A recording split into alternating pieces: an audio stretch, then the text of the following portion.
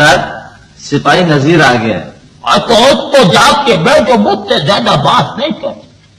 सिपाही आ गया मुझको बतला रहा कि सिपाही आ गया। भाई शाबाशी है भाई तुमने शनाखी का सबूत देते हुए इतने बड़े डाकुओं की यलगार को भगाया है और पुलिस को तुम पर शक है। मेहरबानी है सर मगर एक बात नहीं समझ आ रही है मैं भी डर दिमाग पास है डायरेक्ट हवालदार इतनी बड़ी यलगार को तुमने कैसे पकाया सर जी खुदा है न बुलाए जी।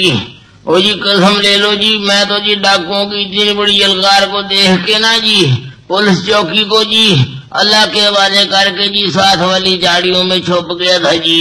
अच्छा ओ जी बाजी फेर जी फिर जी डाकुओं ने जी अपने खुदकार किस्म के जदीद असले से जी तड़ा ताड़ तड़ा ताड़ अंधा धुंध फायरिंग शुरू कर दी जी। अच्छा फिर?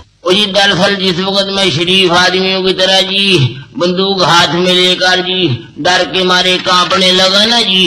तो कांपते कांपते कांपते कांपते कांपते कांपते जी बंदूक भी कुछ ज़्यादा ही काँप गई जी। और अचानक खुद ब खुद चल गई सर खुद तो खुद चल गई? हाँ जी। भाई मुझको यकीन नहीं आ रहा कसम खा के देखो अब खुद बोलोगे जी के पुलिस वालों की कसम होगा क्या दोबार और नहीं भाई मुझको यकीन आ गया?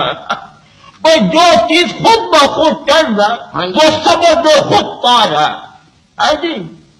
ऐसी अजीब बात है कि महकमे ने हमको भी खुदकार हथियारों से लैस कर दिया और अब सोचना ही नहीं है। भाई तुम एक काम करो।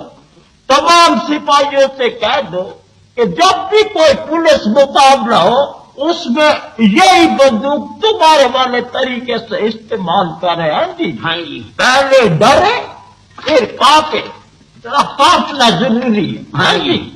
और इसमें जो कुछ फायरिंग हमारे हिस्से में आएँगी जो हमको हासिल होंगी वो जो है वो डाकुओं के खुदकार हथियारों पर काबू पाने के लिए काफ़ी है।